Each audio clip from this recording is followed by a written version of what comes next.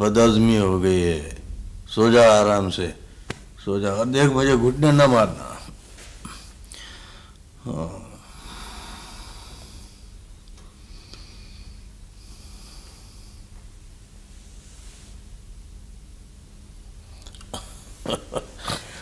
अच्छा अच्छा अच्छा। अच्छा बता। बता क्या देखा है तुमने? दादा हम्म। वही कल वाला ख्वाब देखा है। यार तू दिन भर बेफले दरख्तों पर चढ़कर फल खाता रहता है। तुझे बदजमी हो गई है। ओ दादे बेफले दरख्तों के फल। और ये क्या बात हुई? बेटा दरख्तों की बहुत सारी बातें समझ में नहीं आती हैं। जिस तरह इंसानों की बहुत सारी बातें समझ में नहीं आती हैं हैं? दरख्त भी इंसानी की तरह होता है। पहले बच्चा होता है फिर जवान हो जाता है फिर बूढ़ा हो जाता है और फिर और और फिर मर जाता है। हाँ मर जाता है। लेकिन जहाँ ये मरता है वहीं नई शाखें नई कोपलें फूटती हैं और वो फिर से दरख्त बन जाती हैं। फिर उनमें से कोई फलदार होता है कोई बेफला। कोई ठंडा मीठा साया देता है और कोई बबूल होता है कांटों वाला। करीब से गुजर जाओ तो लहू लुहान कर देता है बंदे को। देखो मेरे बच्चे, मेरे सोने, दरख्त बनना, ठंडा मीठा सायादार फलदार। बबूल कभी ना बनना बेटा हाँ? शा- शा- अल्लाह चल, सो जा। सो जा मेरे बच्चे। दादे ये जो बबूल होता है ना, ये तो बिल्कुल ही दादे, ओ दादे, दादा।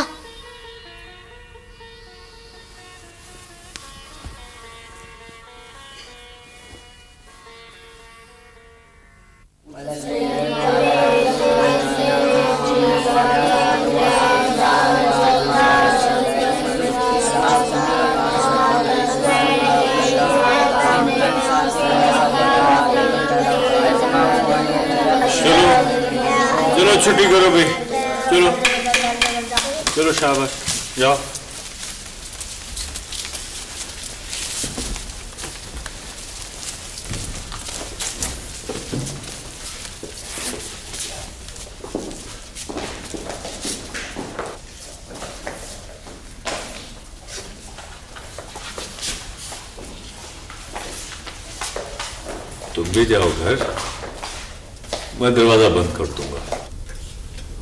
जाओ, शाबाश। जाओ।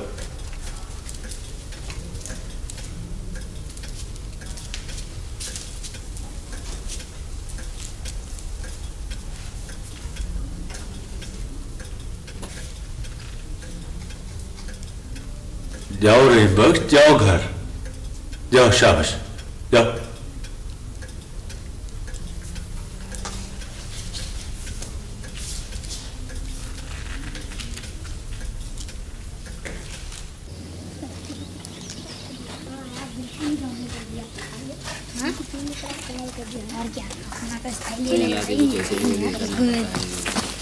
रहीमो तुम जाओ जी मास्टर जी। ये ना समझना तुम कि मैंने तुम्हें माफ़ कर दिया है। अभी जाके तुम्हारे दादा से शिकायत करूँगा। नहीं जी मास्टर साहब मैं तो वो बिल्कुल। ही मुकाम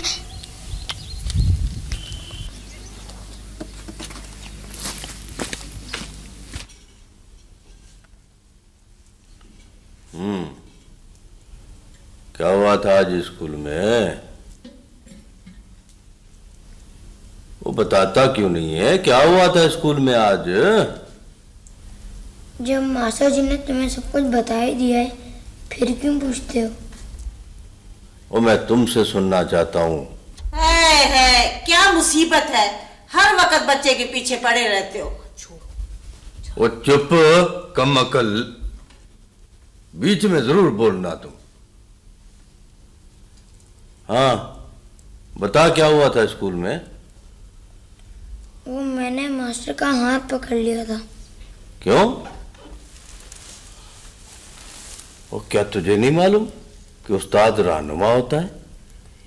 वो अगर एक अच्छी बात बताते तो वही अच्छी बात सारी ज़िंदगी अंधेरे में रोशनी की किरण बन जाती है। बोल क्यों रोका था उस्ताद का हाथ? दादे वो मैं और सरदार का बेटा जमात में खेल कूद रहे थे कि उस्ताद ने मुझे बेत मारने शुरू कर दिए। अच्छा तो फिर क्या हुआ? क्या उस्ताद को यह हक नहीं कि वो शरारत पर शागिर्द को सजा दे? लेकिन वो दोनों को सजा देता, क्योंकि हम दोनों एक साथ खेल खेल रहे थे। लेकिन उसने सरदार के बेटे को तो धक्का कर बैठा दिया, और मुझे इस तरह पीटने लग गया सब मवेशियों को भी नहीं पीटते हैं। ये तो कनील पड़ा हुआ है मेरे यहाँ पर। क्या उस्ताद को ऐसे ही करना चाहिए? हम्म। रहीमू ओ रहीमू देख बेटा ये रहा हमारा तारा। आजा आजा। आजा और दादे ये हमारा बछड़ा नहीं है। वो बावले हो गए हो क्या? वो यार अपने घर के बछड़े को भी नहीं पहचानते। लेकिन दादे उसका तो रंग और था इसका रंग और है। ओ यार ये अभी कई रंग बदलेगा। पता नहीं कितने रंग बदलेगा ये। आजा। आजा आजा। ये तो आ ही नहीं रहा है। वो आएगा आएगा। इसका बाप भी आएगा। आजा। अगर ये हमारा बछड़ा है तो हमारे साथ चलता क्यों नहीं? हम्म, ये बात तो है। अब मैं समझा हूँ कि ये हमारे साथ क्यों नहीं जा रहा। क्या समझे दादा? वो गाय को देख रहे हो? देखो देखो। हैं? ये उस गाय के साथ रहेगा या हमारे साथ जाएगा? इस गाय ने इसको गुमराह कर दिया है। फिर क्या करें दादा? हम्म, फिर ये करते हैं कि अभी तो इसको छोड़ देते हैं क्योंकि ये एक कदम हमारे साथ नहीं जाएगा। अच्छा दादा ये गाय किसकी है? ये गाय उस सरदार मेरे लाई की है बेटा। जा मेरा बछड़ा आ जाओ आ जाओ।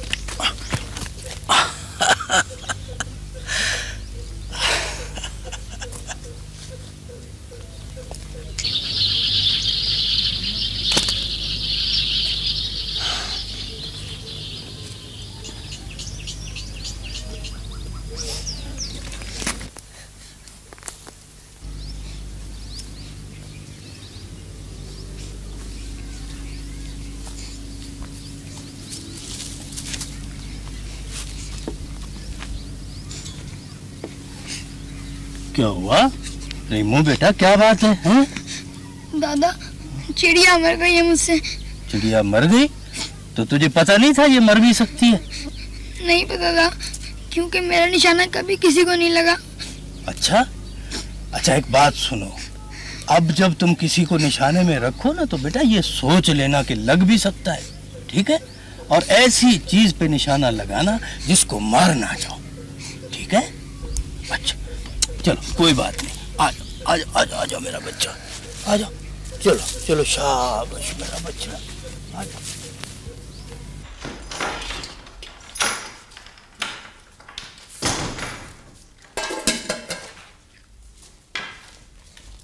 मिला कहीं तारा? मिल गया है मिल गया है। कहाँ है? ओ नजीरा पुत्र आ जाएगा आ जाएगा। कल आ जाएगा। है कहाँ कैसे आएगा? वो कह तो दिया है कल आ जाएगा ना। आज जरा वो एक गाय के साथ था। क्यों रेमू पुत्र? बेशरम कहीं का। ले बाजी खाना खाए।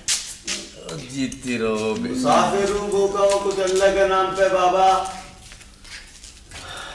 रेमू पुत्र जा सोने ये मुसाफिर को दे। जा शाबाश जी है पहले देख तो लेते कि रोटी है कि नहीं। अब नजीरा तेरे लिए दूसरी रोटी पकाएगी। ना मैंने कहा है कि मेरे लिए दूसरी पकाओ। मैंने अपने हिस्से का दिया है उसको। अम्मा मैं पका देती हूँ अब्बा जी के लिए। तू चुप करके बैठ मुसाफिर ना जाने कब का भूखा होगा। जा पुत्र जा। जा जल्दी से देख क्या। इससे तो सर खपाना ही बेकार है। करेगा वो ही जिसके मन में होगा। हाँ। ना तो क्या वो करूँ जो तेरे मन में है?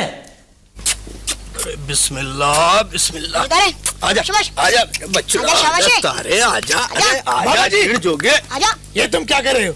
अरे अपने बछड़े को ले जा रहा हूँ। बाबा जी छोड़ दो बच्चे को। आप सरदार साहब का बच्चा ले जा रहे हैं। क्या बात है नूरू अस्सलाम वालेकुम सरदार साहब। सरदार साहब ये बाबा बख्श हमारे बच्चे को ज़बरदस्ती हाँ कर ले जा रहा है। क्या कर रहे हो बख्शू बाबा? ये बछड़े को कहाँ ले जा रहे हो? अपने घर और किधर? आजा। अपने घर? क्यों? मेरा बछड़ा है। ये बछड़ा तुम्हारा कब से हो गया? वो जब से ये पैदा हुआ है इसलिए कि इसे मेरी गाय ने जना है। किसका है ये बछड़ा? सदा साहब अपने तवेरे में बंधा है अपना ही और किसका है? ये बछड़ा तेरा नहीं है बख्शू। छोड़ दे इसे। वो अगर ये बछड़ा मेरा ना होता तो मैं कभी इसके गले में हाथ न डालता मेरे लाई। अगर ये बछड़ा तुम्हारा होता तो तुम्हें इसके साथ इतनी रसाकशी न करनी पड़ती बख्शू। ये खुद ब खुद चल पड़ता तुम्हारे साथ। रहीमू जरा पकड़ना तो इसे। ये बात है तो ये चल पड़ा मेरे साथ।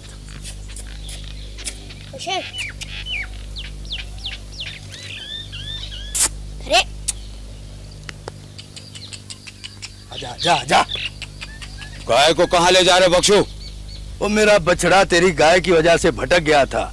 इसे घर पहुँचा के तेरी गाय लौटा दूँगा। गाय को छोड़ दे बख्शू वो तुम कह रहे थे ना कि ये बछड़ा मेरे साथ क्यों नहीं जा रहा है? तो अब देख लो ये क्यों नहीं जा रहा था। तुम न गाय ले जाओगे न बछड़ा। छोड़ दो दादा लानत भेज हम हम। दफ़ा हो जा बुजदिल कहीं का। अरे इतना डरता है तो आया क्यों था मेरे साथ? अब आ गए हो तो पकड़ो बछड़े को। शाबाश आजा। आजा बेटा आजा। एक कदम भी और बढ़ाया तो गोली चला दूँगा बख्शू। दादा। मैं तीन तक गिनूँगा। पीछे मुड़ के मत देखना। ए! रहो आजा। दादा। दो आजा आजा आजा। तीन। मैं कहता हूँ रुक जाओ बख्शू। तुम तीन तक गिन चुके हो मेरे लाई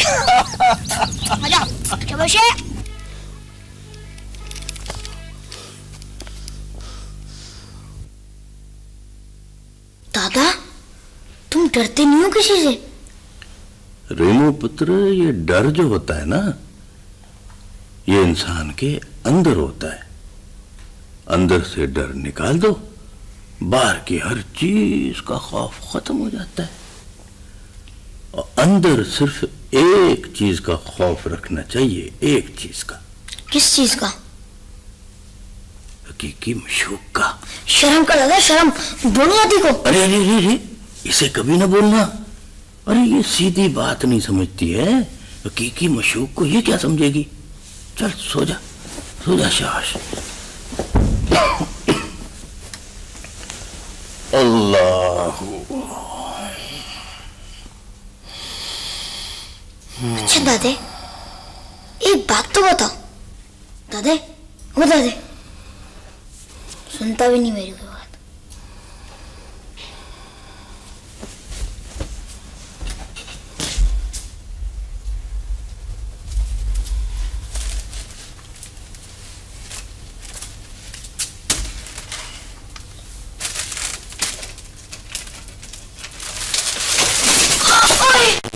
है। क्या हुआ? हाय। अरे क्या हो गया? अच्छा। गिर गए ना? अरे मेरे बच्चे बुलंदी पर जाने की कोशिश करोगे तो नीचे गिरने का खतरा तो रहेगा हैं? चलो उठो कोई बात नहीं शाबाश come on get up get up शाबाश। ओए दादे तुम तो बहुत अंग्रेज़ी बोलने लगे हो। अच्छा तुम मुझे क्या समझते हो हैं? और ये तुम्हारी दादी मुझे क्या समझती है? मैं तो बड़े बड़े अंग्रेज़ों के साथ रहा हूँ और उनको भी खरी खरी सुनाता था वो भी अंग्रेज़ी में। हम्म, वो भी अंग्रेज़ी में। अंग्रेज़ों की बूट पालिश करके। दफ़ा कमकल चल चल अपने कमरे में। नहीं अम्मी मैं दादा के ही। नहीं अम्मी। अच्छा। ओ जा सोने जा कभी अपनी माँ के पास भी सो जाया कर। नहीं दादा। जा पुत्र नदीरा ये मेरे पास ही सोएगा। अच्छा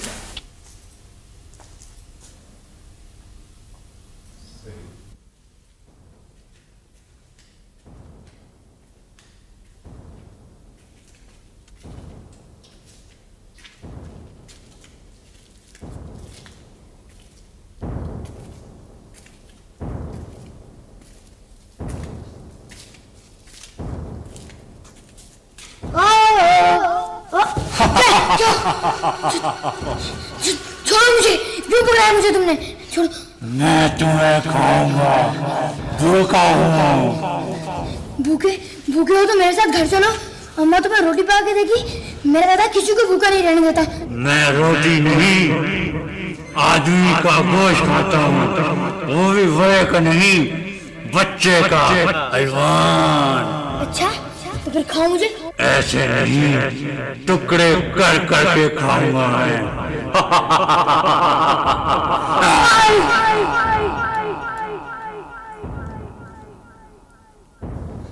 दादा ओ दादा। ओ यार दादा। मुझे पता है तुमने ख्वाब देखा है। सो जाओ सो जाओ शाबाश। अल्लाह।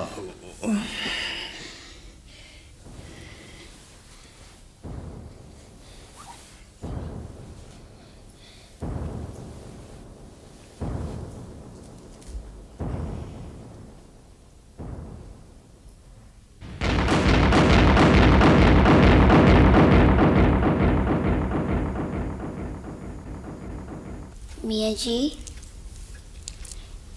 मुझे भी कोई वजीफा बताएँ?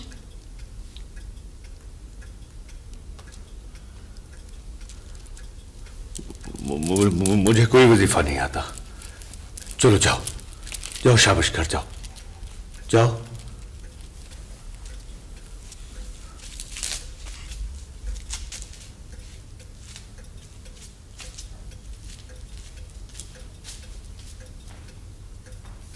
दादा हम्म क्या मियाँ जी को कोई वजीफा नहीं आता नहीं आता होगा पुत्र इन मुल्लाओं को वजीफे कहाँ आते हैं इनके वजीफे तो हलवे मांडे हैं ईदा ते शबराता या मुल्ला टेढ़ बजाए दादा तुम बता दो ना अपना वजीफा जो तुम पढ़ते रहते हो तुम भी तो नहीं बताते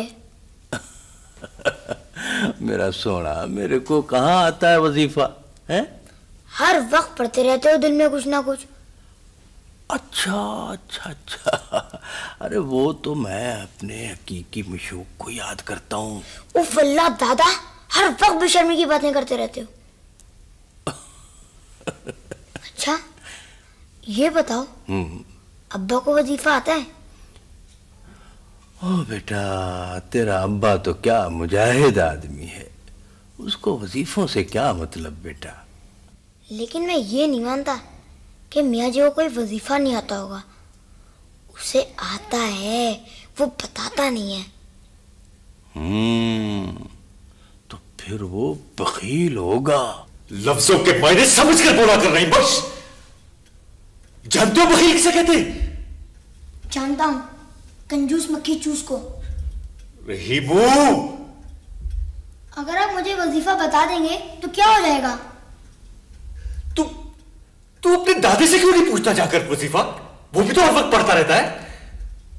लेकिन दादा कहता है कि उसे कुछ भी नहीं आता। तो फिर मुझे भी कुछ नहीं आता हाँ। ठीक है अब मैं कहूँगा कि आप वकील हैं रहीमू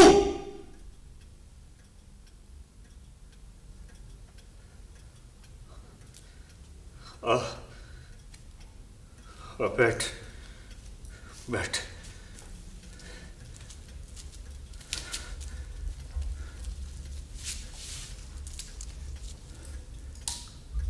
मेरी बात गौर से सुनो रहीम बख्श। मैं मुल्ला हूँ। मेरा बाप भी मुल्ला था, मेरा दादा भी मुल्ला था। और शायद मेरे बच्चे भी। मैंने सारी हयाती नमाजें पढ़ाते हुए गुजारती, या फिर कभी किसी का जनाजा पढ़ा दिया, किसी का निकाह पढ़ा दिया, और गाँव से रोटियाँ जमा कर करके खुद भी खाता रहा और अपने बच्चों को भी खिलाता रहा। और अब तक यही कुछ कर रहा हूँ। क्या तूने भी यही काम करना है? बोलो।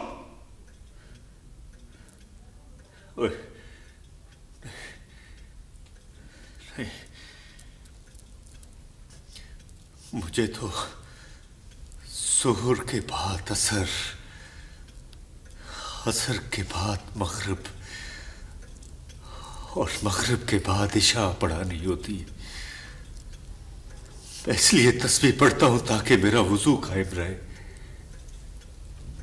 अगर तुमने भी यही काम करना रही, बख्श मेरी तरह महराबो मिंबर में ज़िंदगी गुजारनी है तो फिर मुझे वजीफे भी आते हैं।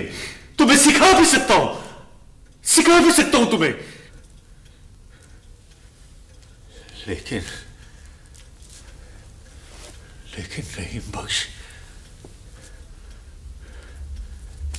ज़िंदगी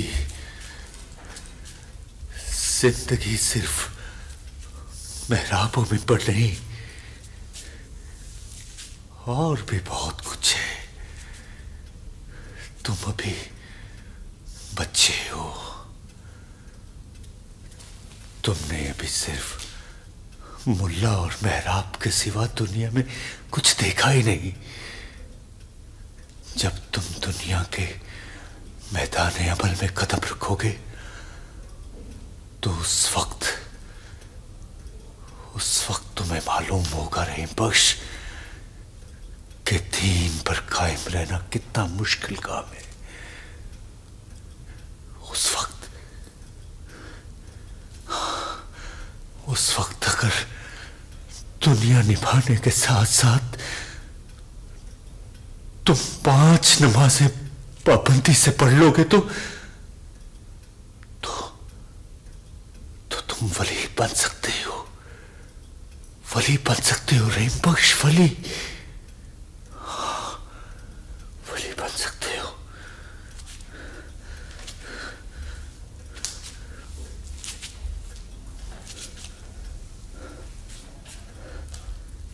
हाँ मेरी बात सुन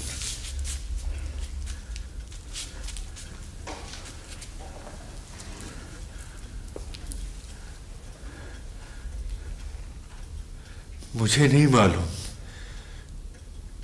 कि तुमने आगे जाकर क्या बनना है। लेकिन लेकिन इतना जानता हूँ कि तुम जो कुछ भी बनोगे, वो हरात भी नहीं बन सकता। हाँ हरात भी नहीं बन सकता।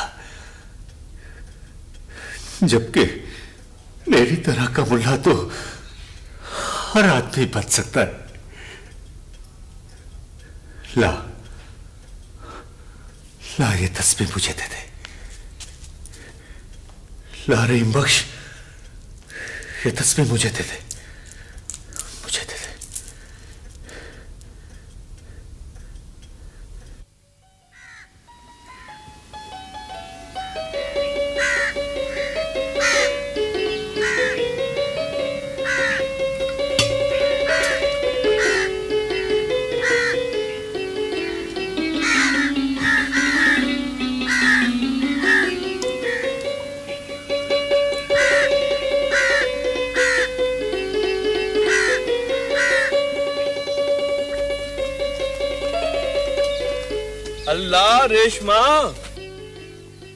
क्या रेशमा? बल्ले भाई बल्ले। और किस तरह उठा रखे हैं ये दो घड़े? गिर नहीं जाएँगे? नज़र ना लगा देना।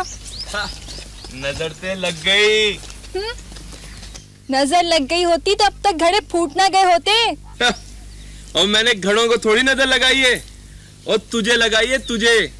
अब देखना तू घर जाते सर मर जाएगी। तुम्हें क्या मिलेगा मेरे मरने से?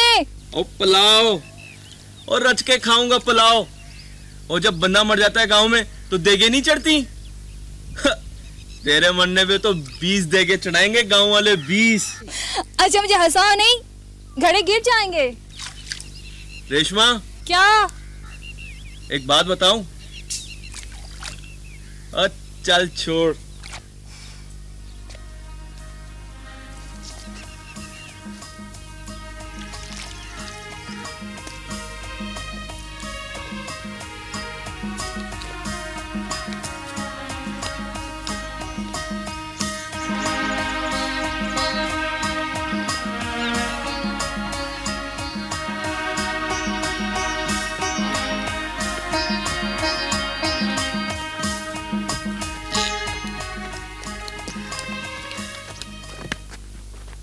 पढ़ते हो? क्या पढ़ के आए हो?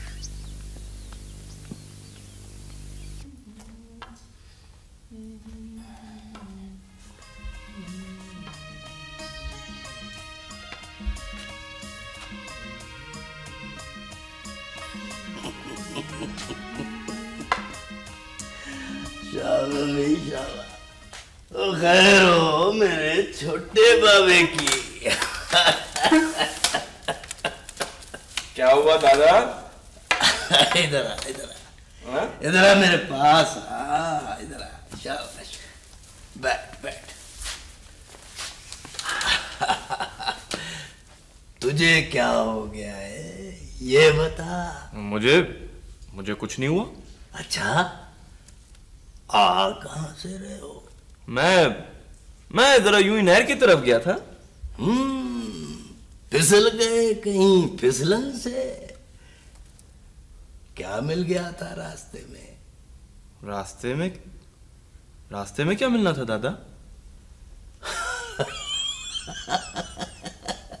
मेरा पुत्र मेरा सोना। बात आग ढूँढने जाओ ना तो पैगंबरी मिल जाती है और बचड़ा तेरा तो मुँह बता रहा है कि इस पे ज़ोर के थप्पड़ पड़े हैं। थप्पड़? कौन मार सकता है मुझे थप्पड़ दादा? मारने वाले ने मार दिए हैं थप्पड़ और तुझे लग गया है इश्क का थप्पड़। दादा दादा तुम तो खामा खाई में बड़ी बेशर्मी की बातें करते हो। बैठ बैठ बैठ जा। बैठ तो सही मेरी मेरा चाँद मेरा सोना। देख शराब में कोई शर्म की बात नहीं होती। सुन लड़की अच्छी है। कौन लड़की दादा? ओ बक बक मत कर। चल जा अंदर जा। गुलिस्तान बोस्तान की किताब ले आ क्या समझना चाहता था? आज आज रहने तो अपनी गुलिस्तान बोस्तान को दादा।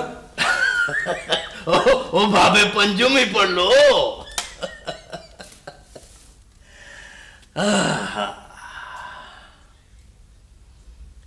मत जा तरो ताजगी पे इसकी।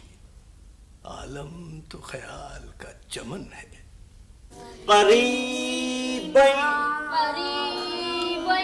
काफ काफ हलक से निकाल नालायक हलक से निकाल काफ। हाँ ज़ोर से। करीब मुल्ला। मुल्ला जल्लाद न बन। तेरा तो अपना इल्म मुकम्मल नहीं। तू तो खुद अभी हिजाब में है। चलो बच्चों छुट्टी करो। चलो।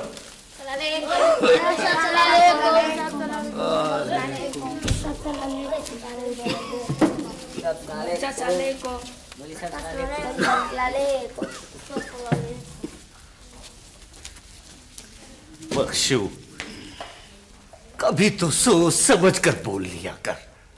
हर वक्त उल्टी पुल्टी हाँकता रहता है तू। मुल्ला, अगर तुमने अल्फ पढ़ लिया होता तो बे की तरफ़ कभी ना भागते। मगर तुमने तो अलिफ ही नहीं पढ़ा।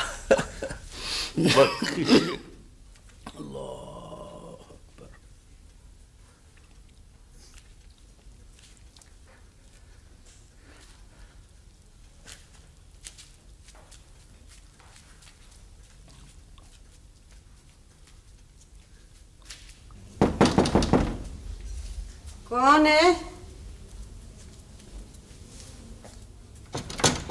अरे मुंशी जी आओ आओ बैठो इधर आ जाओ।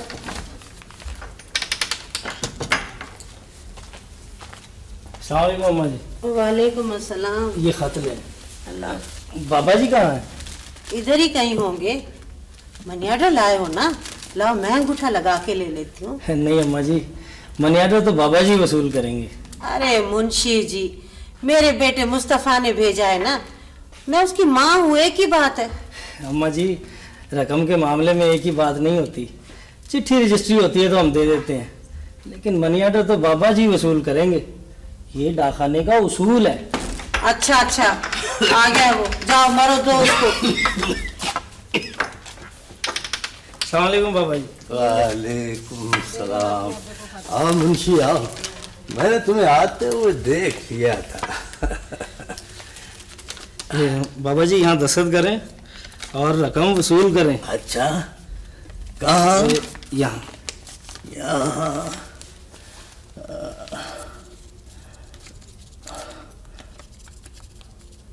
ठीक है? ये अच्छा। और ये भी लें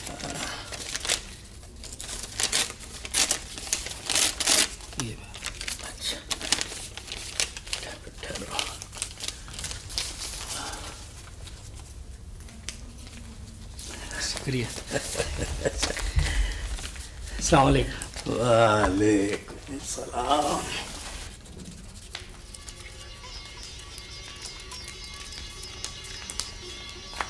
अब्बा जी रहीम के अब्बा का खत आया जी। अच्छा? कोई खास बात पुत्र नदीरा वो पढ़ नहीं रहीमू के बारे में लिखा होगा। अच्छा? क्या? अब्बा जी। अच्छा अच्छा। उस नलायक की शादी के बारे में लिखा।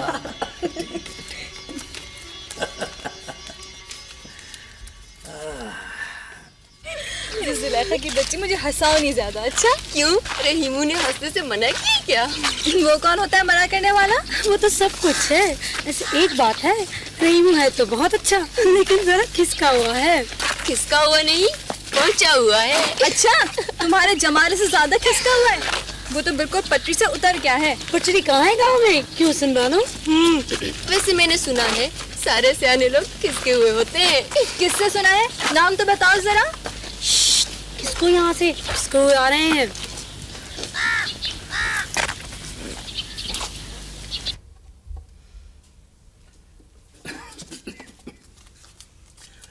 मैंने इसमें सब चीज़ लिख दी है और सुनाओ फैज मोहम्मद क्या हाल है तुम्हारे? ठीक ठाक है बाबा जी तेरा अब्बा तो ठीक है ठीक ठाक है बाबा जी आपकी दुआ है।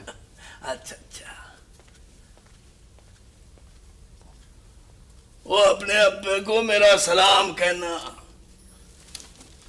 अच्छा बाबा जी खुदा हाफिज खुदा हाफिज।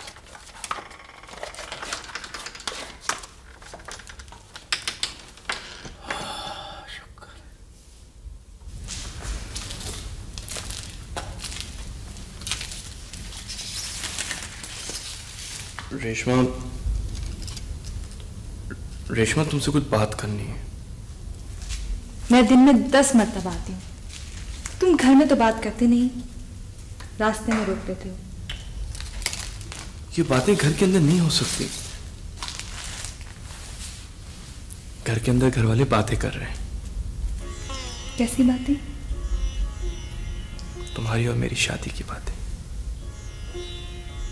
तुम्हें कोई एतराज़? है एतराज़ नहीं। अंदेशा है। किस बात का? रेशमा रेशमा तुम्हारे और मेरे मिजाज में ज़मीन आसमान का फ़र्क है। भाग रहे हो शादी से। नहीं रेशमा ये बात नहीं है। मेरी बात तो सुनो। मैं तो तुम्हें अपना और तुम्हारा फ़र्क बता रहा हूँ। मेरा मतलब है कि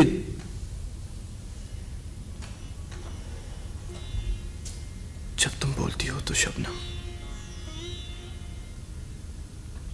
हंसती हो तो शबनम। लफ्ज लफ्ज तुम्हारे होठों से ऐसे निकलते हैं जैसे फूल की पंखड़ियों से शबनम टपक नर्म धीमा मीठा लहजा। इतना धीमा कि दूसरे कान आवाज़ ना सुनाई दे। और मेरा जी चाहता है रेशमा। मेरा जी चाहता है कि मैं इतना ज़ोर से चिल्लाऊं कि मेरी आवाज़ हफ़्ता आसमान के पर्दे फाड़ते हुए अर्शे परी तक जा पहुँचे।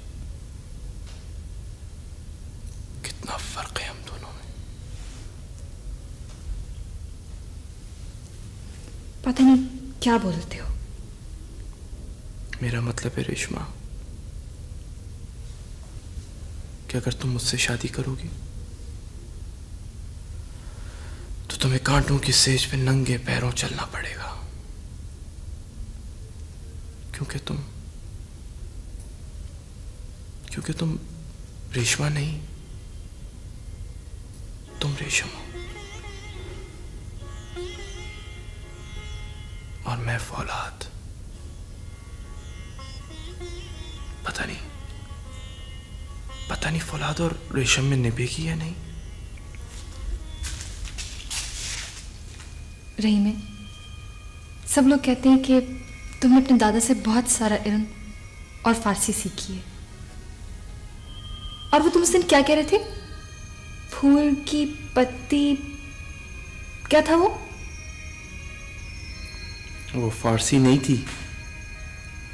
वो लामा साहब की उर्दू थी बाउली। फूल की पत्ती से कट सकता है हीरे का जिगर। है ना? निभेगी। ज़रूर निभेगी। अगर तुम्हारे साथ ना निभ सकी तो किसी से नहीं निभ सकती।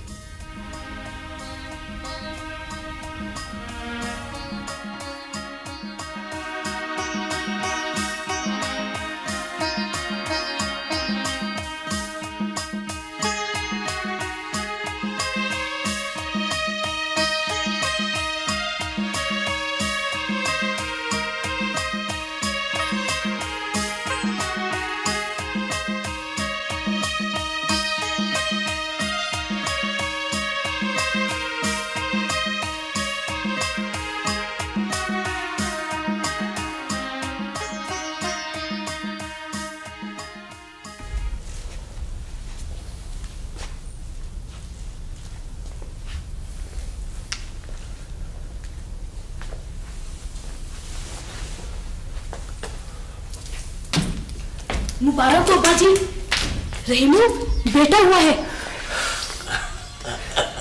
कमाओ पूत अब्बा जी आपको खुशी नहीं हुई? ना बेटा कहा तो है कमाओ पूत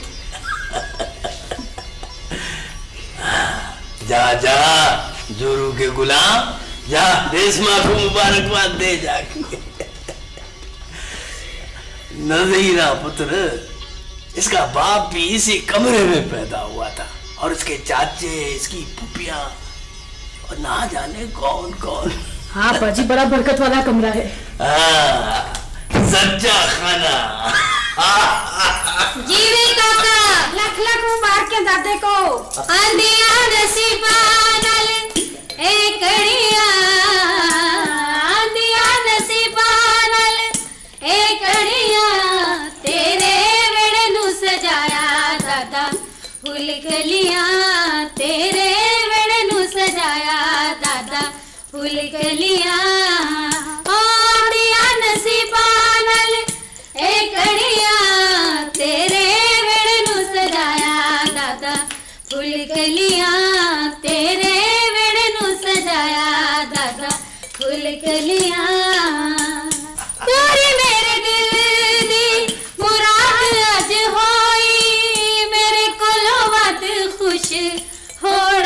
होड़ा नी कोई हो मेरे कोलो वद खुश होड़ा नी कोई रखिया ने तेरे उत्ते आसा बड़िया तेरे वेड़े नु सजाया दादा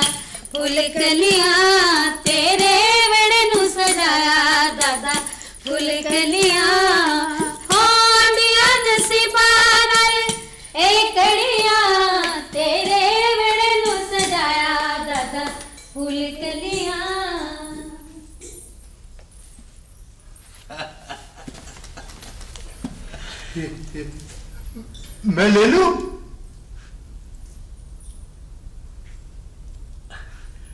तू जा। जा, जा,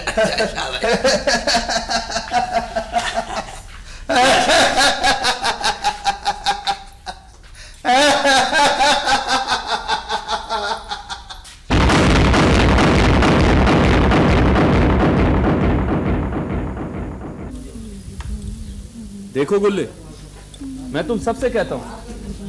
ये मसले का हल नहीं है। अरे शहर जाओ मजदूरी बहुत है शहर में। यार नौकरी यहाँ भी है रहीमू पर सरदार के काम कौन करेगा? सरदार के काम नहीं है। बेगार है बेगार मत करो बेगार इनकार कर दो ऐसा काम करने से कि जिसकी जिसकी मजदूरी ना मिले। लेकिन रहीमू कैसे? यार चन्ना तुम तुम डरते क्यों हो यार? तुम में से तुम में से कोई एक ऐसा आदमी नहीं जो ये कहे कि मैं बगैर मजदूरी के काम नहीं करता। कोई कोई एक आदमी? मैं मैं तुम्हारे साथ हो हूँ। रहीमू मेरे साथ नहीं अपने साथ अपना साथ दो। सच का साथ दो। देखो रेमो या मेरे टीए पर बैठकर कोई गलत बात मत करो। मैं कोई गलत बात कर रहा हूँ? मेरा मतलब है कोई मकामी सियासत की बात मत करो खुदा के वास्ते। ना तो क्या ये तुम्हारे साथ बैन अवी सियासत की बात करें हैं? काबुल के अमानुल्लाह खान का तस्करा छेड़े। जर्मनी, जापान की बात छेड़े। ये नैनवा और बाबुल की तहजीबें किस तरह तबाह हुई थी, ये बताए। सल्तनत हस्पानिया के जवाल के असबाब तेरी समझ में आ जाएँगे, हैं? ये अंग्रेज़ों की अयारियाँ तुझे समझाए, या ये गुलिस्तान, बोस्तान बैठकर तुम्हारे सामने पड़े। बताओ जानू, कौन सी बैन अवी सियासत समझोगे तुम? बताओ। ओहो ओहो बाबा, आप तो खाम खा खफा हो रहे हो। मैं तो ही के फ़ायदे की बात कर रहा था। सरदार की ज़मीन पर रहकर सरदार के खिलाफ बात करना मेरा मतलब है कि बात सरदार तक पहुँच भी सकती है। अरे जा जा पहुँचा दे सरदार को। सरदार का मुखबर। क्या हुआ? बुलवाया रहमो को? सरदार संदेशा दे दिया था उसे। कहाँ है वो? सरकार वो नहीं आया। क्या मतलब? बोलते क्यों नहीं? मैं पूछता हूँ क्या कहा है उसने। जवाब दो। सरकार उसने कहा है कि वो हाँ, हाँ हाँ बोलो बोलो। क्या कहा है उसने?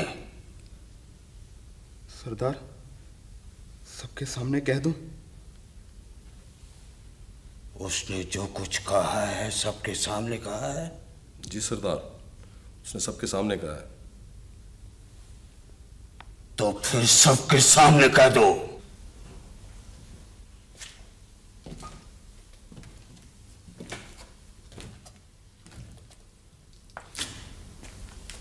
रेशमा?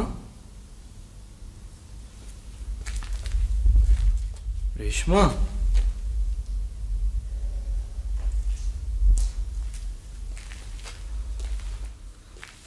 नाराज़ हूँ मुझसे। मैं कौन होती हूँ? नाराज़ होने वाली देखा? तस्दीक कर दी ना नाराज़गी की। लेकिन बात क्या है? कोई एक दिन की बात थोड़ी है। यानी? तुम अब वो रहीमू नहीं रहे जो शादी से पहले थे।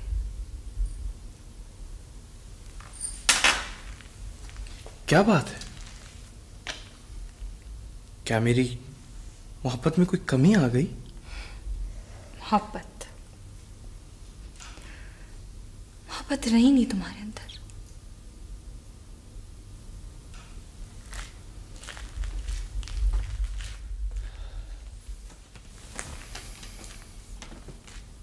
बावली मोहब्बत कोई फ़सल की तरह तो नहीं होती? कि आज है और कल कट गई? मोहब्बत तो सूरज की रोशनी है। ज़्यादा से ज़्यादा बीच में रात आ जाएगी। फिर भी चाँद और सितारों को चमकाता रहेगा सूरज। ये रोशनी ये रोशनी कभी खत्म नहीं होगी रेशमा। ये सब तुम्हारे मुँह में दादाजी की बातें हैं जो मेरी समझ में नहीं आती। गाँव वालों के बखेड़े लेके बैठे हो मेरी कोई परवाह नहीं। और और क्या ज़रूरत थी तुमको जमींदार से मत्था मारने की? रेशमा रेशमा मैंने तो सरदार से मत्था नहीं मारा। किसने कहा तुमसे? तो बुलाया क्यों था? सरदार ने तुमको बुलाता रहे।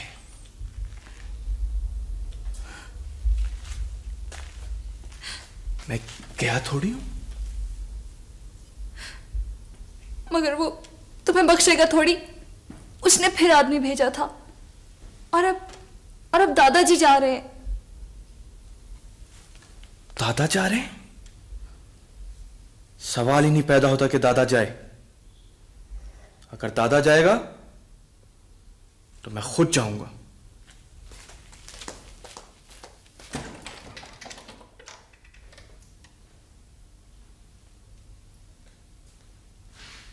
वो जब तुमने मना कर दिया है रहीमो तो फिर तुम नहीं जाओगे। वो कायम रहो अपनी ज़ुबान पर। तो फिर मैं तो फिर मैं तुम्हें भी नहीं जाने दूँगा दादा। वो मेरे सोने, मेरा जाना होते ज़रूरी है। वो पंच है गाँव का। तो उसने बुलाया है तो पता तो चलना चाहिए ना कि वो चाहता क्या है। तुम नहीं जाओगे। तुम मुझे तुम मुझे नहीं रोक सकते, दादा।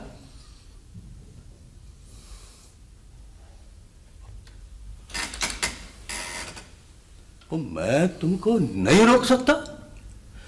क्या कहा तुमने? मैं मैं तुमको रोक नहीं सकता। रेशमा, सुनो तुमने। सुनो तुमने ये क्या कह रहा है? मैं इसे रोक नहीं सकता।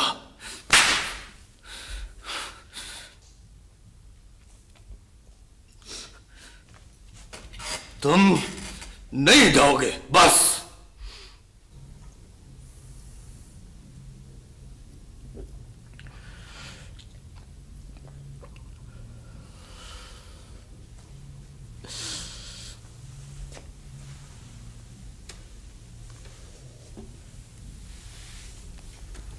तुम मुझे अपने साथ ले चलो दादा।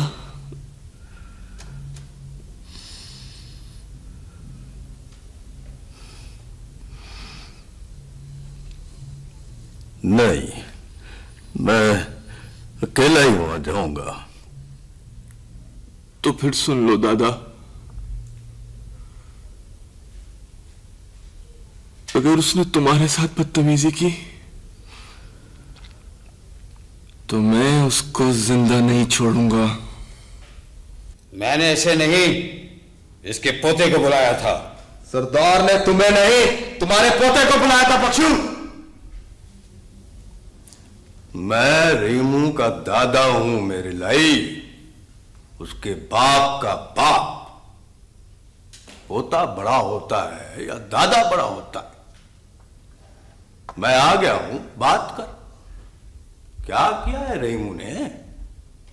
उसने वो किया है जो गाँव में आज तक किसी ने नहीं किया है। किसी ने नहीं किया अच्छा गाँव में चोरियाँ होती हैं फसाद होते हैं अगवा और डकैतियाँ होती हैं और वो तमाम जराइम जो किताब पर मौजूद है इससे पहले गाँव में हो चुका है।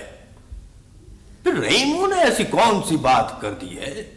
जो इससे पहले गाँव में नहीं हुई थी, उसने मेरी ज़मीन में मेरे लोगों को मेरे खिलाफ उकसाया है। ये ज़मीन तुम्हारी कैसे हो गई मेरे लाई क्या बकवास कर रहे हो, बुढ़े? रुक जाओ। मुझे इसकी उम्र का लिहाज आ रहा है ये पहले ही मरा हुआ है। मुझे इसके साथ बात कर लेने दो। क्या तुम्हें इस ज़मीन के मेरे होने में शुभा हो रहा है? महज इसलिए कि इसमें चंद केनाल का टुकड़ा तुम्हारा भी आ गया है। ना ना वो चंद कनाल का टुकड़ा मेरा है, ना ये गाँव तुम्हारी जगीर है मेरे लाइफ बल्कि ज़मीन जो है, वो तो अल्लाह की है। और मैं अल्लाह की ज़मीन पर काबिज लोगों के कब्जे को नहीं मानता।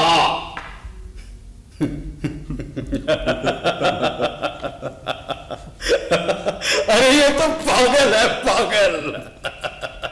हाँ मैं पागल हूँ।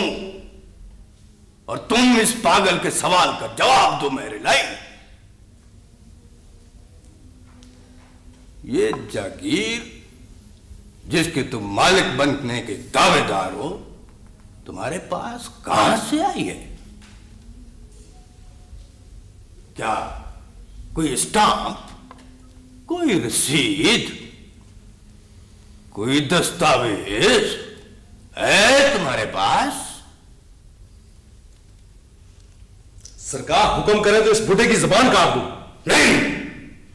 अभी नहीं। बोलने दो इसे। बोलने दो इसे ये जबान मैंने पहले कभी नहीं सुनी है। तो अब सुन लो मेरे लाई।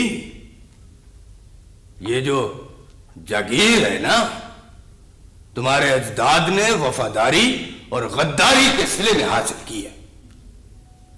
गद्दारी अपनी कौम से और वफादारी फरंगी आका से। बख्शो! तुम लोगों ने गुरसों के हिसाब से सोलह सोलह रुपए में कौम के जवान अंग्रेज़ की जंग की भट्टी में झोंके आए और उसके सिले में इनामात और जागीर हासिल की पता है, तुम्हारे बड़े घोड़े दौड़ाते थे, घोड़े। और वो घोड़ा जहाँ तक दौड़ता चला जाता था वहाँ तक अंग्रेज़ आका तुम लोगों को जागीरें अता कर देता था। सरदार आप बर्दाश्त कर रहे हैं लेकिन हमारी बर्दाश्त से बाहर हो रहा है पुटा चुप है। सरदार के पालतू।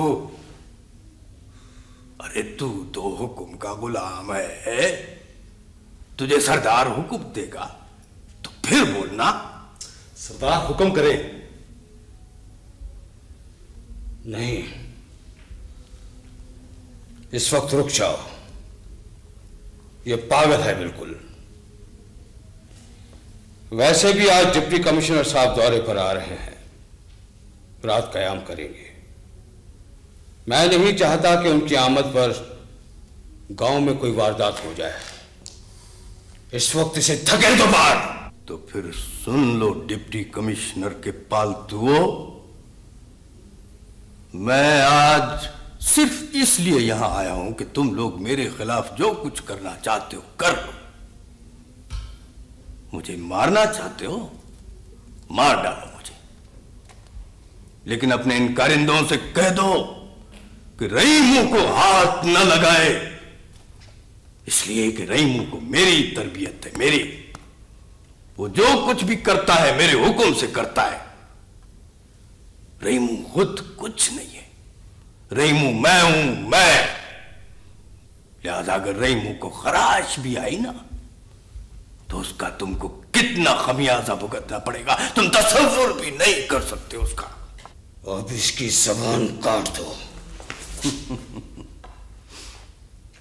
मेरा मौला तो मेरे यहाँ है यहाँ मेरे दिल में। मेरे दिल को निकाल के बाहर फेंक दो। या फिर मेरे गले को काट दो। क्योंकि वो सोना तो मेरे सांसों में बसता है। अल्लाह।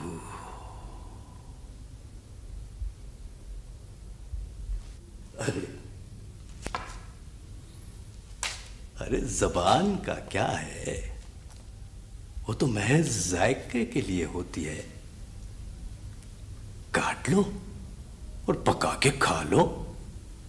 और अपने आका डिप्टी कमिश्नर को भी खिला दो। लो, काट लो मेरी जबान। सरकार साहब, डिप्टी कमिश्नर साहब आ गए। आ गए?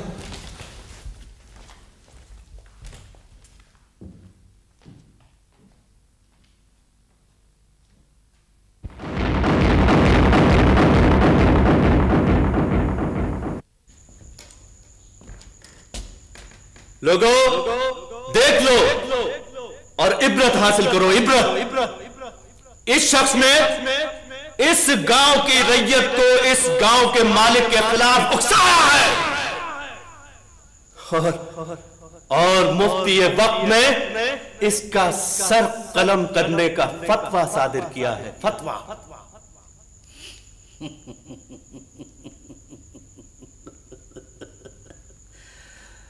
फतवा फरोश जल्दी से उड़ाओ मेरी गर्दन। ना। तुम्हें बायक जुम्बे से तलवार कत्ल नहीं किया जाएगा।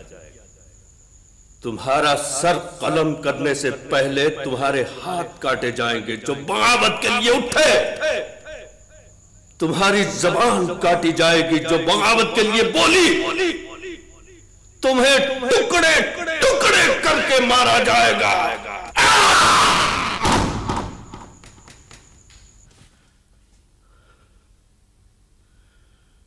अल्लाह।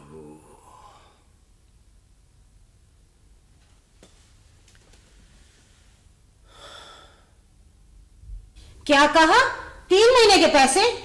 मेरा बेटा मुस्तफ़ा तो हर महीने पाबंदी से तेरे पैसे अलग और घर के अखराजात के लिए पैसे अलग भेजता है। वो जी शायद बाबा जी को दुकान की तरफ़ आने की फुर्सत नहीं मिली होगी।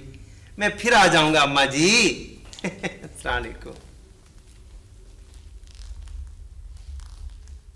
सुन रही हो नजीरा? तुमने भी रेशमा सुना? तीन महीने से दुकानदार को पैसे नहीं मिले। अब आ जाए मुस्तफ़ा तो उसे कहूँगी कि पैसे रहीमों के नाम भेजे।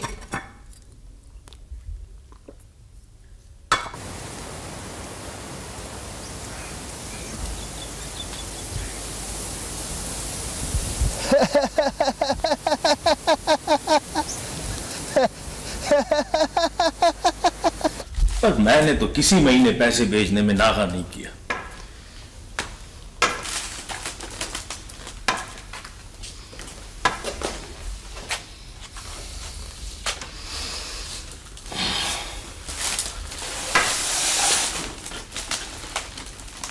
अब्बा जी ये सब क्या है? बड़ी बदनामी की बात है। ना कोई नशा करते हैं, ना सिगरेट, ना नस्वार, ना तंबाकू। ज़िक्र इलाई के अलावा और कोई काम नहीं आपका। फिर ये पैसे कहाँ जाते हैं? क्यों नहीं मिले दुकानदार को? बोलो जी। अरे बेटा, ये क्या बोलेगा? इससे तो बैठे बिठाए मिल जाते हैं और ये लुटाता है। बस अब ये है कि इसके नाम पैसे मत भेजो। मुस्तफ़ा तुम आइंदा अपनी माँ के नाम पैसे भेजना। मुझे नहीं चाहिए ये पैसे। अब्बा जी अब्बा जी। अम्मा सही कहती है। अब्बा जी तो तुम चुप करो। और पर यह भी तो अच्छा नहीं लगता मैं कि अब्बा जी को छोड़कर रही मुँह के नाम मनी आर्डर बेचूं। मेरे नाम भी नहीं अब्बा जी। आप दादी के नाम पर ही भेजें।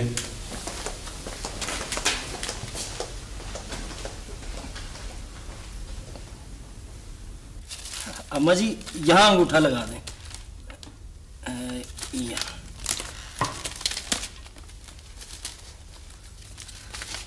अब तो खुश है ना अम्मा जी? देखो हमारा क्या है। जिसके नाम रकम होती है उसी को दे देते हैं। अपने घर कुछ नहीं लेके जाते। अरे मुंशी जी हमने भी जिम्मेदारियाँ पूरी करनी होती हैं। लुटानी नहीं है रकम हाँ।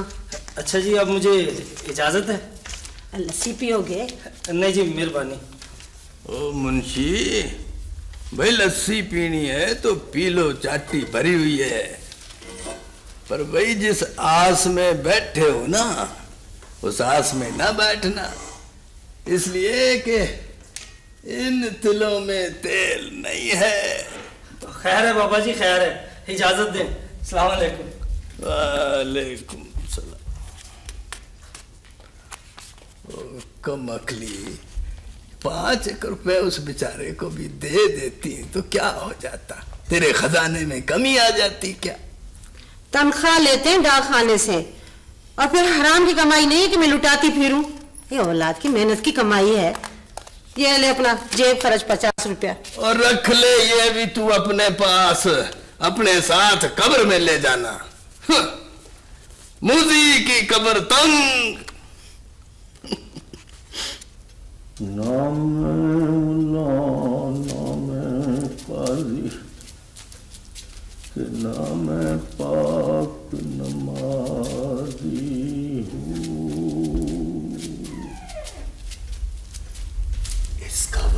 तो लंबा हो गया है। मैं जा रहा हूँ। तुम यहीं रुकना और मस्जिद के सारे दरवाजे बंद करके आना। ये तो खुले छोड़कर आ जाएगा। ठीक है मियाँ जी। हाँ। दफ़ा हो जा मुल्ला दफ़ा हो जा। अरे मस्जिद जिसकी है वो ही हिफाजत भी करेगा। तू तो जा अपने पेट की फ़िक्र कर जाके ये तो फिर छिड़ गया तुम चलो चलो चलो इधर आ इधर आ मुल्ला इधर आओ आ जा इधर आ जाओ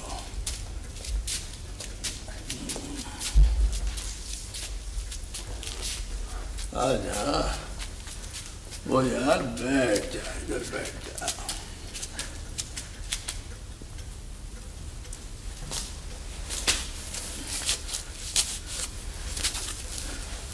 हाँ हम्म। ये बता हूरों का बंदोबस्त कर लिया कि नहीं? पता नहीं पता नहीं क्या बड़बड़ करते रहते हो बख्शू तुम। अरे क्यों भाई? जन्नत में नहीं जाओगे क्या? हूरों के लिए ही तो जा रहे थे ना। मैं समझा था, पता नहीं क्यों बुलाया है मुझे। बैठ जा बैठ। जा खफा ना हो मुल्ला, खफा ना हो तुझसे बात करनी है। मुझे खुशी है मुल्ला कि तू वो मुल्ला नहीं है जो बुल्ले शाह के जमाने में था और जिस मुल्ला से चूल्हा अच्छा था मस्कीन मस्कीन और आजिज आदमी हूँ, बख्शू। मुल्ला, असल में मैं ये कहना चाहता था कि इस महीने से ना मैं तुम्हारी कोई खिदमत नहीं कर सकूँगा, मुल्ला। वो क्योंकि अब मनी ऑर्डर मेरे नाम नहीं आता। कोई बात नहीं, बख्शू। कोई बात नहीं। हम तो वैसे भी रोटियाँ जमा करके खाने वाले लोग हैं। कोई बात नहीं। अफसोस। इस गाँव के हर फर्द ने तुम्हारे पीछे नमाज़ पढ़ी। बेशमाम कहलाए तुम पूरी ज़िंदगी। और पूरी ज़िंदगी रोटियाँ मांग मांग के खाई तुमने। अफसोस, लोगों ने तुम्हारी कदर नहीं की मुल्ला। बख्शू मैं तो मुल्ला हूँ। मुल्ला की कौन कदर करता है? अल्लाह। लेकिन अफसोस लोग तुम्हें भी नहीं पहचान सके। हाँ, तुम्हारे अपने घर के लोग भी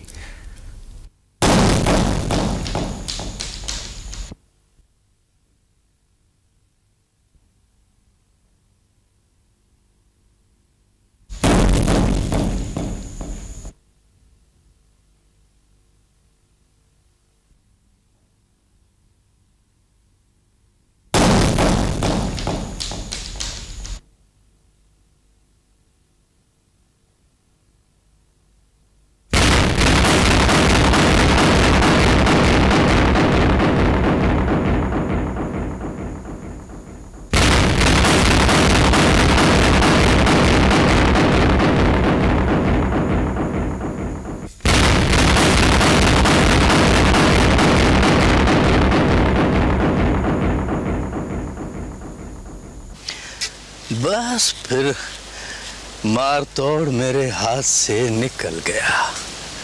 कहानी खत्म। और फिर मैंने दोबारा मार तोड़ नहीं उठाया बेटा। क्या ये अच्छी बात थी दादा? नहीं। ये तो एक खाम खा की झूठी अना थी बेटा।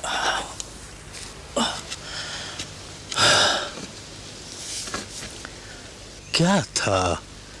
अगर एक बार मार तोड़ हाथ से निकल गया था तो। ठीक है। वक्त के साथ साथ ताकत में भी तो जवाल आ जाता है ना बेटा। लेकिन बेटा, हिम्मत में कभी जवाल नहीं आता। और मैं हिम्मत हार गया था। मुझे हिम्मत नहीं हारनी चाहिए थी। रेमू बेटा, तुम हिम्मत कभी ना हारना।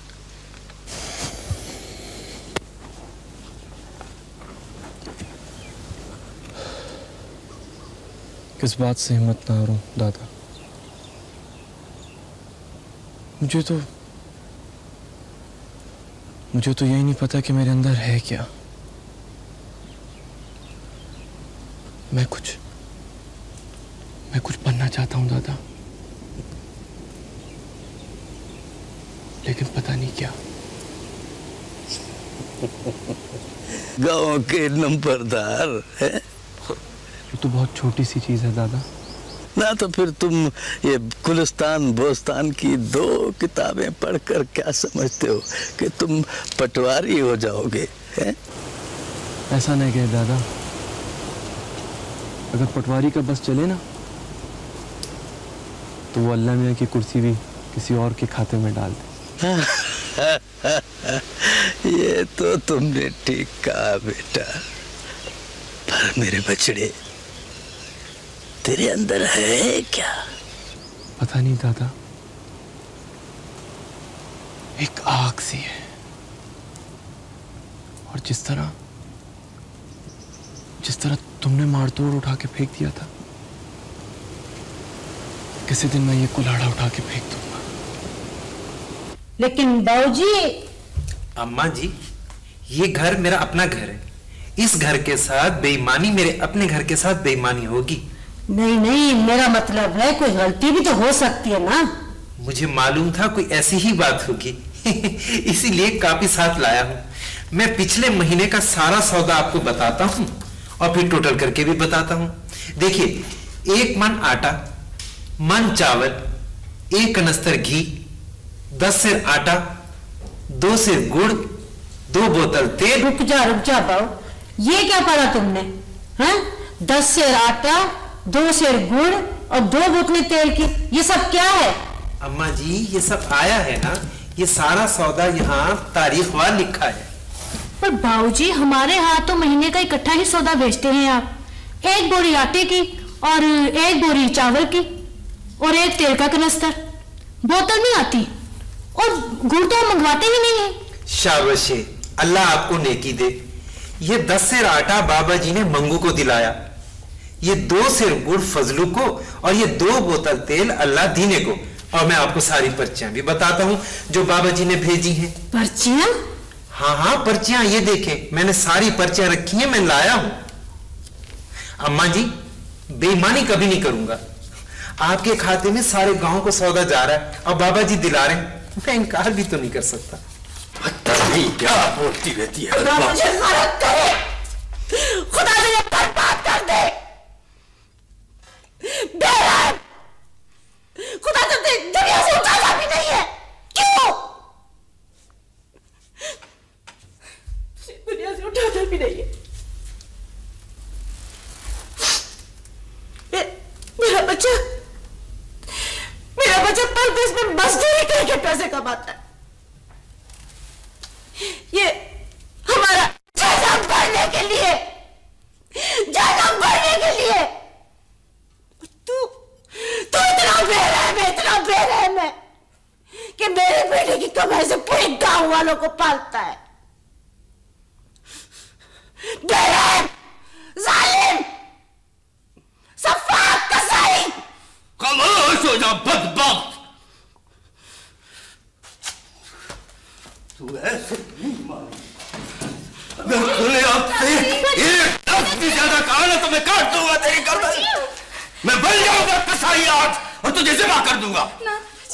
मैं तुझे इस तरह जमा करूँगा कि तू बकरी की तरह तड़प तड़प कर मरेगी दादाजी अल्लाह का वास्ता ही छुरी रख दो। और मैं आज बन जाऊँगा कसाई और काट दूँगा इसकी गर्दन। छोड़े छोड़ो बाजी रेशमा पुत्र इससे कहो कि ये मेरी पूरी बात सुन के जाए नहीं तो ये छुरी इसके पीछे आएगी। दादी रुक जाओ। दादा की बात सुन लो दादी।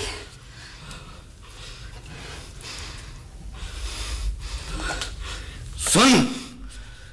बदबख्त। सुन। तेरे घर में आटे की बोरी मौजूद हो। चावलों की बोरी भरी पड़ी हो। और खाने पीने की चीज़ें वाफर मिकदार में मौजूद हो। और इसी गाँव में, इसी गाँव में किसी का चूल्हा ठंडा रह जाए। और इसी गाँव में कोई रात को रोटी खाए बगैर ही सो जाए तो तू है तेरी गुजरान पर। बदबख्त कम अकल।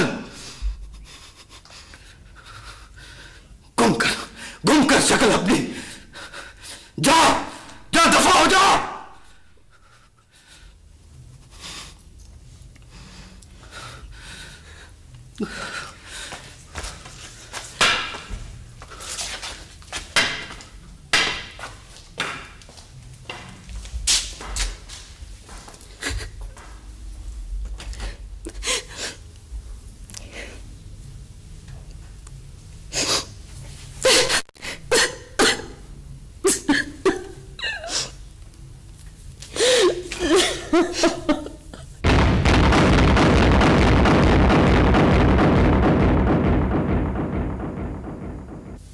नमाज़ ईद। वाजिब नमाज़ है। इसमें छह तकबीरें ज़्यादा होती हैं। ओ मुल्ला मुल्ला ये तू चौथी मर्तबा बता रहा है। और वैसे भी सबको पता है। मुझे एक बात बता अगर सरदार नहीं आया तो क्या तू नमाज़ नहीं पढ़ाएगा क्या? ज़रूर आएँगे सरदार साहब। पहले कभी ऐसा हुआ है कि वो नमाज़ ईद के लिए ना आए हो? ओ नहीं पर नमाज़ का वक्त हो गया है। देर हो रही है नमाज़ पढ़ा मुल्ला। समझने की कोशिश कर बख्शू। भाई लोगों मियाँ जी वो सरदार साहब तो अकेले मस्जिद में बैठे हैं। उन्हें तो इतला नहीं थी कि नमाज़ ईदगाह में हो रही है। ओ नहीं पर अब तो उसको इतला हो गई है ना। हाँ बाबा जी अब तो हमने बता दिया है। लेकिन वो कहते हैं मुझे पहले खबर करनी थी। वो अभी मस्जिद में बैठ गए हैं। मुल्ला जी को और सब नमाजी को मस्जिद में बुला रहे हैं। अरे अरे लो, अरे लोगों ये क्या कर रहे हो? अरे बैठो। अरे खुदा का खौफ करो लोगों। मुल्ला ओ मुल्ला रोको नमाजियों को रोको। अरे अरे ये क्या कर रहे हो तुम लोग?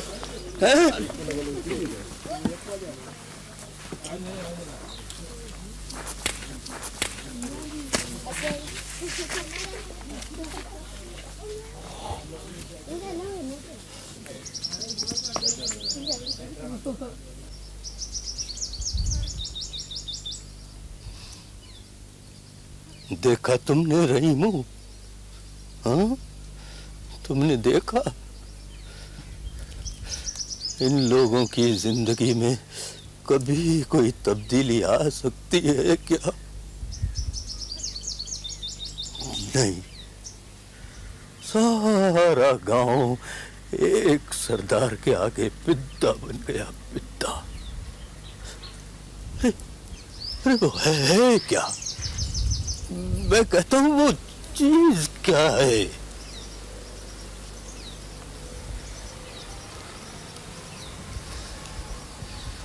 रहीमो अब्बा जी को लेके हमारे पीछे आओ।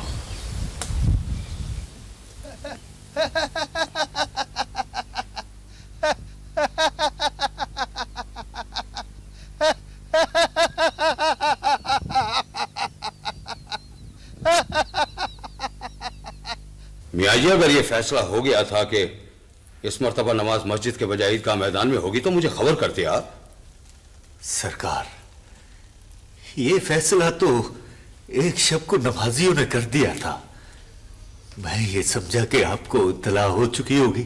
नहीं मुझे किसी ने इतला नहीं दी। कोताही हो गई सरकार।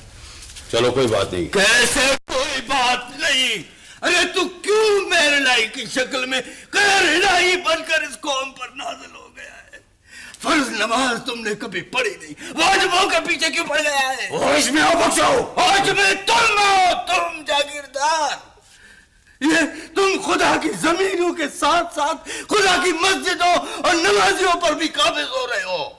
तुम अकेले वहाँ नहीं आ सकते थे क्या? अब्बा जी अब्बा जी खुदा के लिए ये क्या कर रहे हैं आप? ये सही नहीं है।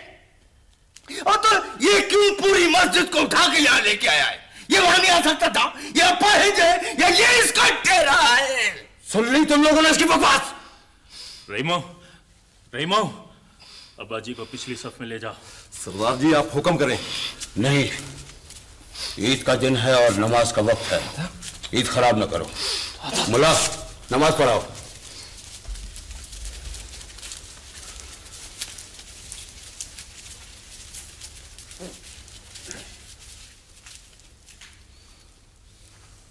अल्लाह अकबर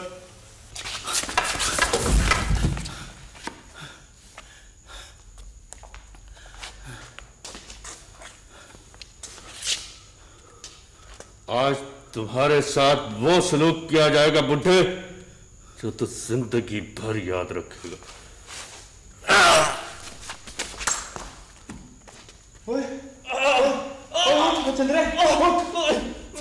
मेरी कमर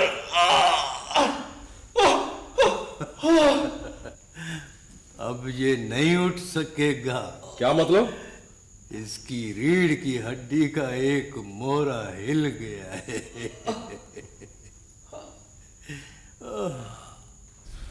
ओफ, अब आज तीसरा दिन है। अब्बा जी और रहीम मुका चले गए। मैं क्या बताऊँ?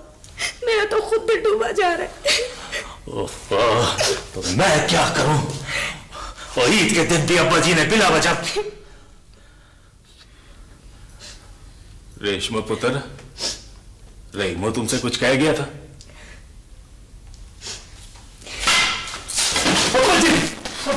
दादाजी! अब्बाजी! अब्बाजी! दादाजी ये क्या हो गया? दादाजी! ये ये कैसे हो गया दादाजी? दादाजी और लगा मत था जागीरदार के साथ। मैं मर गई। कब वक्तों ने बाजी का बुरा हाल कर दिया। अब्बा जी अब्बा जी किसने किया ये आपके साथ? ये सरदार के चमचों का काम। है मैं मैं अभी जाके पुलिस में रिपोर्ट लिखवाता हूँ। ओ नहीं नहीं।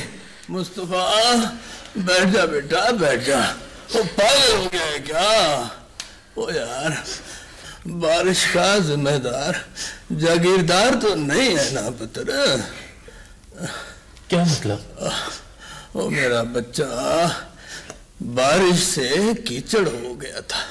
मैं जरा मैं जरा नहर की तरफ़ निकल गया तो पाँव फिसल गया और नीचे खाइयों में जा गिरा। चोटें आ गई बस इसमें जागीरदार का क्या कसूर है?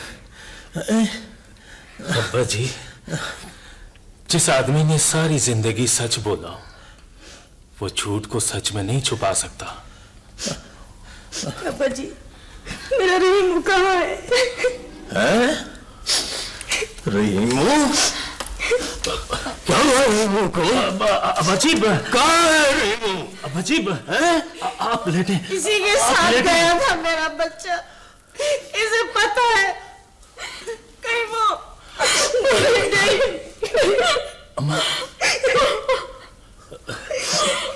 ओ, मेरा बच्चा? रहीमू कहाँ है? मुझे बता। कहाँ गया रहीमू? बता ना। बता मुझे। अरे मुझे बता दे रही हूँ कहाँ गया है? बाबा जी गुमशुदगी की रिपोर्ट आपने लिखवा दी है। सारी तफसील हमारे पास मौजूद है और हमने हर थाने की पुलिस को मुतला कर दिया है। देखो इंस्पेक्टर देखो। मुझे इस तमाम कार्रवाई से कोई दिलचस्पी नहीं है। मुझे तो रहीमू चाहिए रहीमू रहीमू को पैदा करो आज उसको छठा दिन है। बाबा जी क्या आप किसी पर शुभ ज़ाहिर करना चाहते हैं? शुभ? सुबह ही नहीं मुझे तो यकीन है कि ये काम जागीरदार के सिवा किसी का नहीं हो सकता। और ये बात मैंने थाने में इससे पहले भी कही थी। क्या तुमने जाना उसके गिरेबान पर आ बाबा जी क्या कोई माई का लाल है जो जागीरदार के गिरेबान पर हाथ डाल सके? हाँ मैं मैंने डाला था उसके गिरेबान पर हाथ और, और अगर इस वक्त मैंने तुम्हारी जगह ये वर्दी पहनी होती ना तो उसको घसीट के जमा ले आता दो थप्पड़ मारता तो सब कुछ साफ़ साफ़ बता देता। लेकिन तुम तुम तो सिर्फ़ बेगुनाहों को ही पकड़ते हो। बाबा जी नामुमकिन बातें कर रहे हैं। और नामुमकिन इसलिए कि जिस दिन रहमो गायब हुआ उससे एक दिन पहले सरदार साहब को देखकर शदीद दौरा पड़ा था। अच्छा तो ये तुम उसको बचाने के लिए कोई नई कहानी सुना रहे हो मुझे? नहीं अम्मा जी। सरदार साहब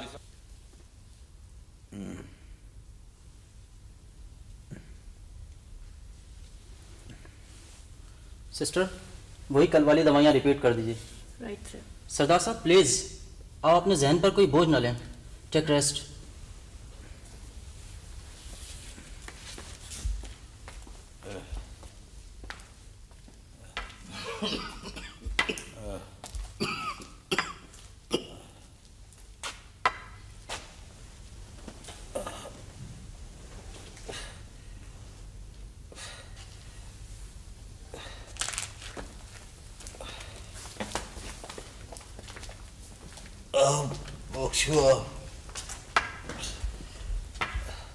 लेटे रहो लेटे रहो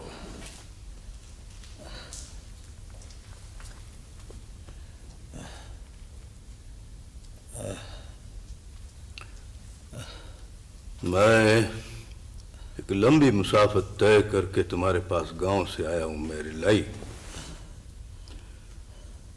क्योंकि तुम बीमार हो और बीमार की अयादत करना वैसे भी सवाब का काम है। चाहे वो दुश्मनी क्यों ना हो। आज मैं तुमसे कोई झगड़ा नहीं करूँगा।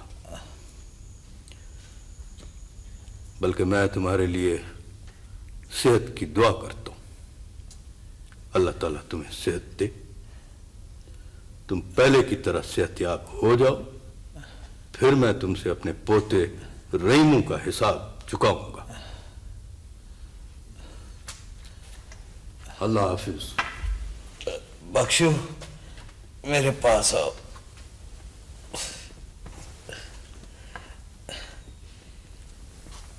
इसमें शक नहीं कि तुम मेरे और मैं तुम्हारा दुश्मन हूँ। लेकिन मैं मर रहा हूँ। और मरने वाले आदमी के पास झूठ बोलने का कोई जवाब नहीं होता।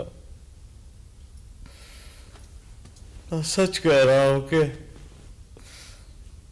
रहमों की गुमशुदगी से मेरे मेरे कारिंदों का कोई वास्ता नहीं।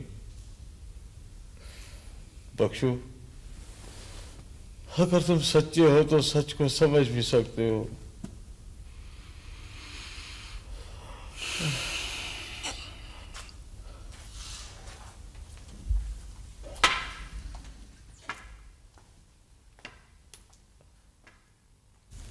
सब्र करो बेटे। और रोने धोने से कुछ नहीं होगा।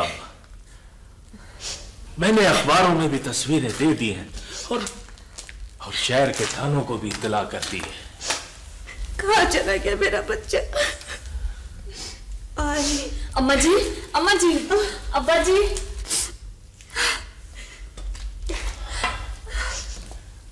रेशमा पुत्र वक्ती तौर पर हम लोगों को यकीन कर लेना चाहिए कि रीमू की गुमशुदगी में जागीरदार का कोई हाथ नहीं है। बाबा। हाँ पुत्र। वो ज़िंदा है।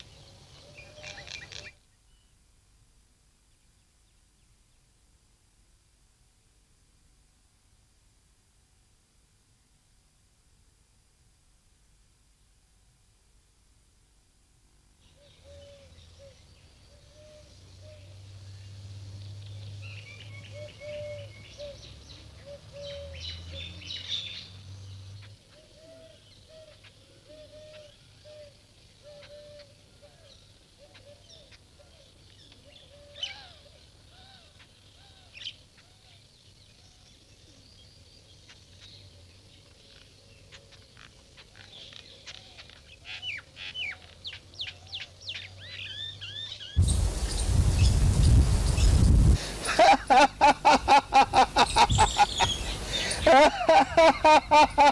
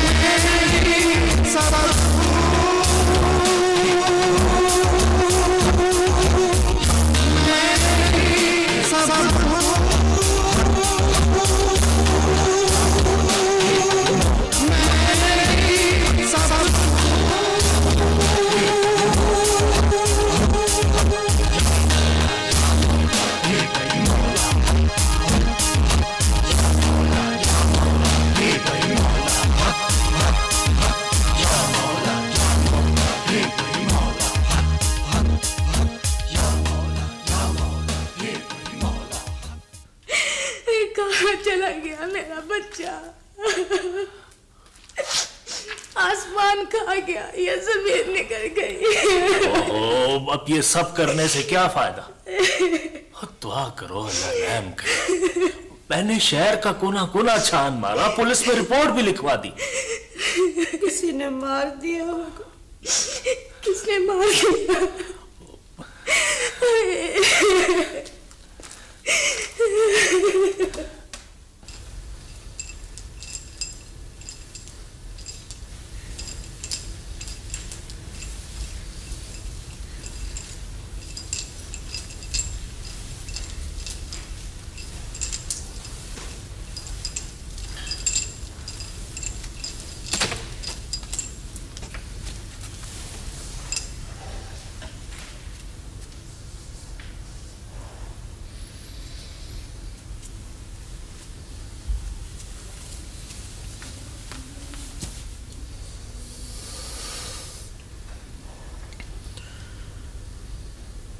मुझे कुछ मुझे कुछ दो मुर्शिद मुझे कुछ सिखाओ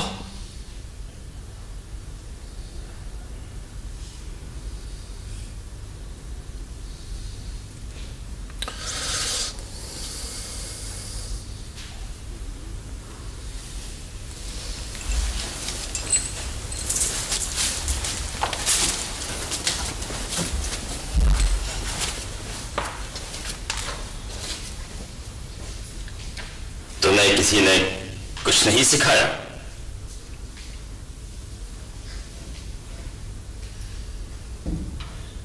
मैं तो मैं तो एक समंदर छोड़कर आया हूँ यहाँ। तो कुएँ में क्या लेने आया? प्यास। प्यास तो कुएँ से बुझती है ना वो मीठे पानी का समंदर था जिसे तुम छोड़ आए हो। तुम घबरा तमा लालच, हिर्स, जुल्म, जबर और खुदगर्जी की गंदी मछलियों से घबरा कर तुम मीठे पानी के समंदर से भाग आए। मेरे पास क्या है जो मैं तुम्हें दूँ? तुम्हारे पास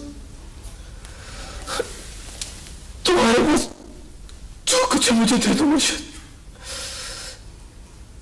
तुमने भी तो तुमने भी तो तमाम लालच हिर्स की रोटी बेच सकी मुझे खामोश खोलो खोलो मुर्शिद खोलो तमाम हिर्स लालच की पीछी हुई रोटी खोलो मुर्शिद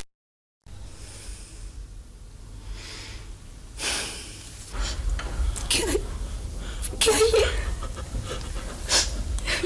अम्मा अम्मा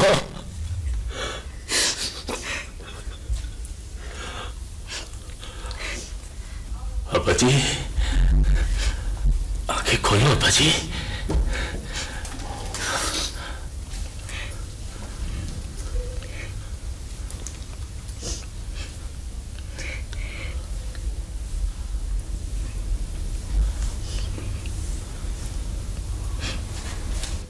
तुम फकर की मंजिल की तरफ़ चल पड़े हो ये हक का रास्ता है ये वो रास्ता आदमी उस वक्त इख्तियार करता है जब वो ऐलान जंग कर देता है। ये बहुत मुश्किल रास्ता है। ये या तो इंसान को भंग, चरस और अफ्यूम की गहरी खाइयों में ले जाता है, या फिर मंसूर बनाकर सूर्य चढ़ा देता है। तुम्हें अभी बड़ी मंजिल से गुजरना है, और वो है फनाफिल्ला। और यही फनाफिल्ला तार की तरफ़ ले जाता है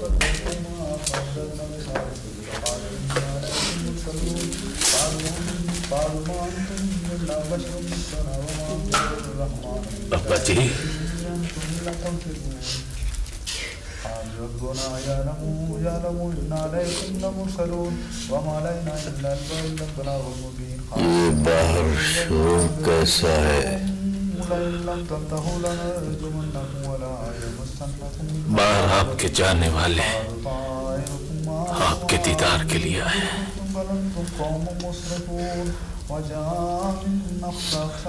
इन लोगों को इज़्ज़त से बिठाओ और इनसे कहो, मैं भी नहीं मरूँगा।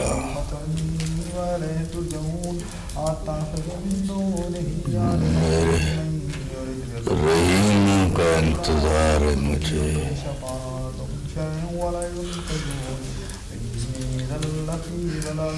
कहीं वो अब नहीं आएगा अब्बा जी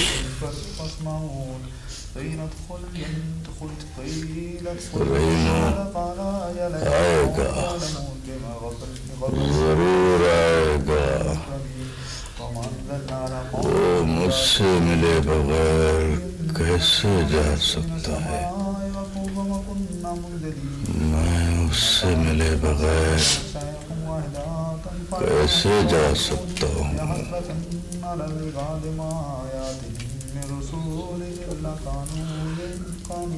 जा, जा तो भी चला जा।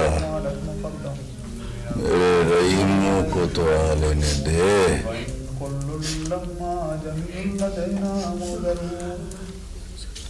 बाजी मैंने रहीम को बहुत तलाश की। रहीम बहुत तो भी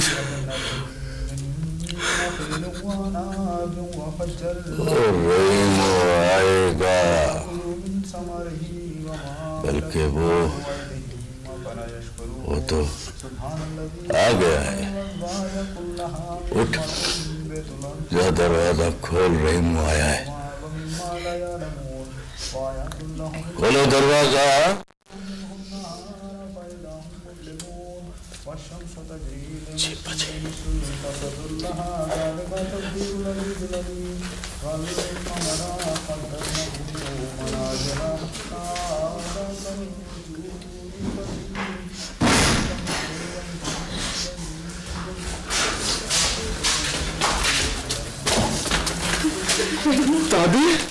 बच्चा। देखा? आ गया ना मेरा रहीमू। मेरा बच्चा। रहीमू पुत्र मेरे पास आ।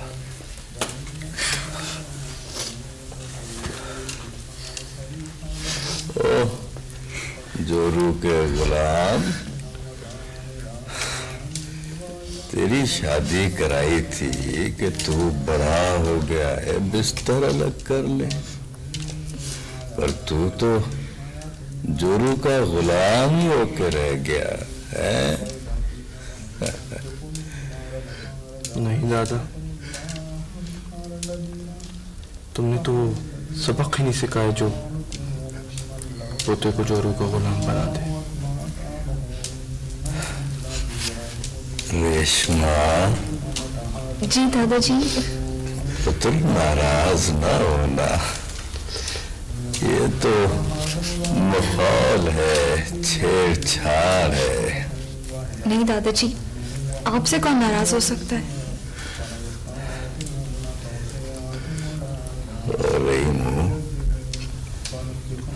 पुत्र तो आ गया। रेशमा पुत्र तू बड़ी खुशनसीब है कि तुझे रेनू जैसा शोहर मिला है। रेमू पुत्र मेरे पास आ। मेरे सफ़र का वक्त आ गया है। नहीं दादा ऐसा न बोल क्या तू क्या तू मुझे छोड़ के चला जाएगा? अरे, तेरे पास तेरा बाप है। तेरा बड़ा अजीम बाप है ये। तेरी माँ है, तेरी दादी है, रेशमा है। तेरा पूरा खानदान तेरे पास छोड़ कर जा रहा हूँ पुत्र। दादा कहाँ से लाऊँगा दादी अरे ओ पुत्र तू तो खुद दादा बन जाएगा। चुटकी बजाने में दादा बन जाएगा। देख पुत्र हज़ार साल की ज़िंदगी हो तो भी ऐसा महसूस होता है जैसे आदमी इस दरवाजे से आया और उस दरवाजे से चला गया।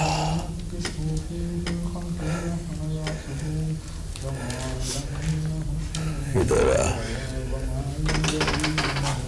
मेरे करीब आ